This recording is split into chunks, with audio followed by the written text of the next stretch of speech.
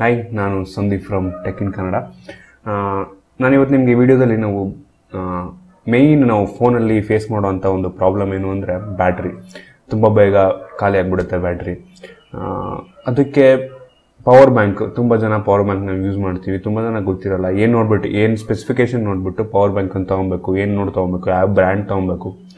ನಾನು ಅದನ್ನು ಈ ವಿಡಿಯೋದಲ್ಲಿ ನಿಮಗೆ ತಿಳಿಸ್ಕೊಡ್ತೀನಿ.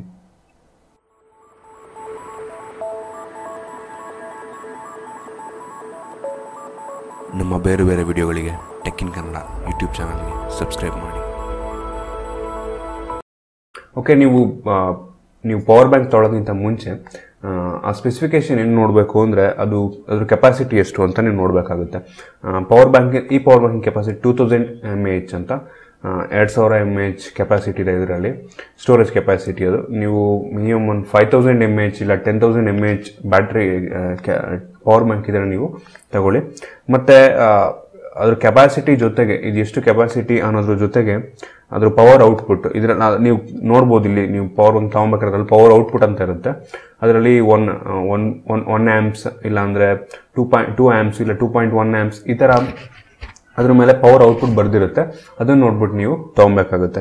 ಅದೇನಕ್ಕೆ ಇಂಪಾರ್ಟೆಂಟು ಅಂದರೆ ನಾನು ಮುಂಚೆನೂ ಹೇಳಿದ್ದೀನಿ ನಿಮಗೆ ಚಾರ್ಜರಲ್ಲಿ ನಿಮ್ಮದು ಪವರ್ ಔಟ್ಪುಟ್ ಎಷ್ಟಿದೆ, ಅದ್ರ ಮೇಲೆ ನಿಮ್ಮದು ಚಾರ್ಜಿಂಗ್ ಸ್ಪೀಡು ಡಿಪೆಂಡ್ ಆಗುತ್ತೆ. ಟೂ ಪಾಯಿಂಟ್ ಫೈವ್ ಇಲ್ಲ two point seven two point three point zero amps ಇದ್ರೆ ಪವರ್ ಕರೆಂಟ್ ಔಟ್ಪುಟ್ಟು ನಿಮ್ಮ ಮೊಬೈಲ್ ತುಂಬ ಬೇಗ ಚಾರ್ಜ್ ಆಗುತ್ತೆ.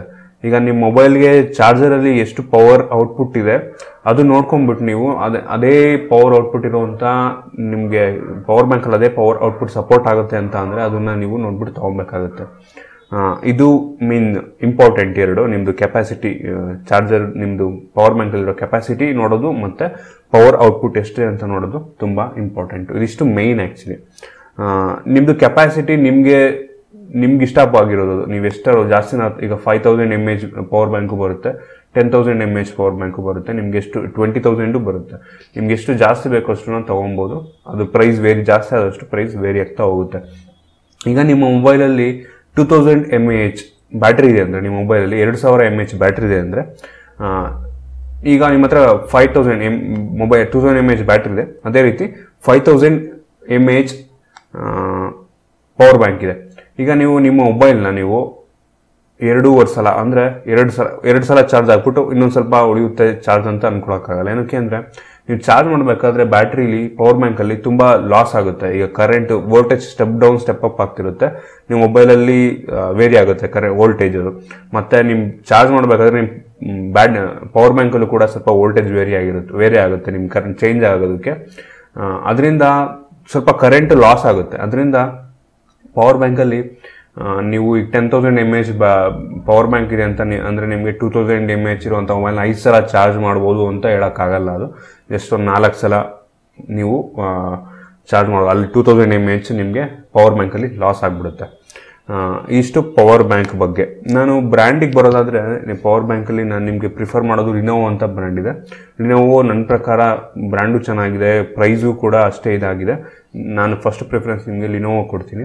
ನೆಕ್ಸ್ಟು ನೀವು ಎಂ ಐ ಇಲ್ಲ ಅಂದರೆ ಆ್ಯಂಬಿಯಂಟ್ ಆ್ಯಂಬಿಯೆಂಟ್ ಅಂತ ಒಳ್ಳೆ ಕಂಪ್ನಿ ಅಲ್ಲ ಅದು ಬ್ರ್ಯಾಂಡೆಡ್ ಕಂಪ್ನಿ ಅಲ್ಲ ಮಾಮೂಲಿ ಲೋಕಲ್ ಕಂಪ್ನಿ ಥರನೇ ಬಟ್ ಆ್ಯಂಬಿಯಂಟ್ ಓಕೆ ಒಂದು ಲೆವೆಲ್ಗೆ ಅದು ತುಂಬ ಚೆನ್ನಾಗಿದೆ. ಮತ್ತು ಇನ್ನೊಂದು ಹೇಳೋದು ಅಂದರೆ ಸೋನಿ ನೀವು ಸೋನಿಲೂ ಕೂಡ ಪವರ್ ಬ್ಯಾಂಕನ್ನು ತೊಗೊಬೋದು.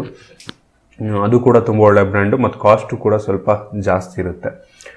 ಇದಿಷ್ಟು ನಿಮಗೆ ಪವರ್ ಬ್ಯಾಂಕ್ ಪ್ರೈಸ್ ಬಗ್ಗೆ, ಮತ್ತು ನೀವು ಪವರ್ ಬ್ಯಾಂಕು ಎಷ್ಟು ಕೆಪಾಸಿಟಿ ಅದಕ್ಕಿಂತ ಕಮ್ಮಿ ಚಾರ್ಜ್ ಆಗುತ್ತೆ ಮೊಬೈಲು ಅನ್ನೋದ್ರ ಬಗ್ಗೆ, ಮತ್ತು ಏನು ಏನು ನೋಡ್ಬಿಟ್ಟು ಪವರ್ ಬ್ಯಾಂಕನ್ನು ನೀವು ತೊಗೊಬೇಕು ಅನ್ನೋದ್ರ ಬಗ್ಗೆ ನಾನು ನಿಮಗೆ ಇವತ್ತು ತಿಳಿಸ್ಕೊಟ್ಟಿದ್ದೀನಿ ಮತ್ತು ಇನ್ನೊಂದು ಏನು ಮಾಡ್ಬೋದು ಅಂದರೆ ನಿಮ್ಮ ಮೊಬೈಲ್ಗೆ ಓ ಟಿ ಜಿ ಸಪೋರ್ಟ್ ಇದೆ ಅಂದರೆ ನೀವು ಓ ಟಿ ಜಿ ಕೇಬಲನ್ನು ನಿಮ್ಮ ಮೊಬೈಲ್ಗೆ ಈಗ ಬೇರೆ ಯಾರಾದರೂ ಫುಲ್ ಹಂಡ್ರೆಡ್ ಪರ್ಸೆಂಟ್ ಚಾರ್ಜ್ ಅಂದ್ಕೊಳ್ಳಿ ಅವ್ರ ಮೊಬೈಲ್ಗೆ ಓ ಟಿ ಜಿ ಕೇಬಲ್ನ ಹಾಕ್ಬಿಟ್ಟು ನೀವು ಇಲ್ಲಿ ಪಂಡ್ರ ಇದಿದೆ ಇದೆ ನೋಡಿ ಯು ಎಸ್ ಪಿ ಆಪ್ಷನ್ ಇದೆಯಲ್ಲ, ಇದನ್ನು ಹಾಕ್ಬಿಟ್ಟು ಕೂಡ ನಿಮ್ಮ ಮೊಬೈಲ್ನ ಚಾರ್ಜ್ ಮಾಡ್ಬೋದು, ನಿಮ್ಮ ಮೊಬೈಲನ್ನು ಬೇರೆಯವ್ರ ಮೊಬೈಲಿಂದ ಕೂಡ ಚಾರ್ಜ್ ಮಾಡ್ಬೋದು. ಇದಿಷ್ಟು ಚಾರ್ಜ್ ಮಾಡೋ ಬಗ್ಗೆ. ನಿಮ್ಗೆ ಇವತ್ತು ಇದ್ರ ಬಗ್ಗೆ ಗೊತ್ತಾಗಿದೆ ಅಂತ ಅನ್ಕೋತೀನಿ. ನಿಮ್ಗೆ ಏನಾದರೂ ಕ್ವಶನ್ ಕೆಳಗಡೆ ಕಾಮೆಂಟಲ್ಲಿ ಕೇಳ್ಬೋದು, ನಾನು ನಿಮಗೆ ಆನ್ಸರ್ ಮಾಡ್ತೀನಿ. ನಾನು ಬೇರೆ ಬೇರೆ ವಿಡಿಯೋಗೆ ಟೆಕ್ ಇನ್ ಕನ್ನಡ ಯೂಟ್ಯೂಬ್ ಚಾನಲ್ಗೆ ಸಬ್ಸ್ಕ್ರೈಬ್ ಮಾಡಿ. Thanks for watching video bye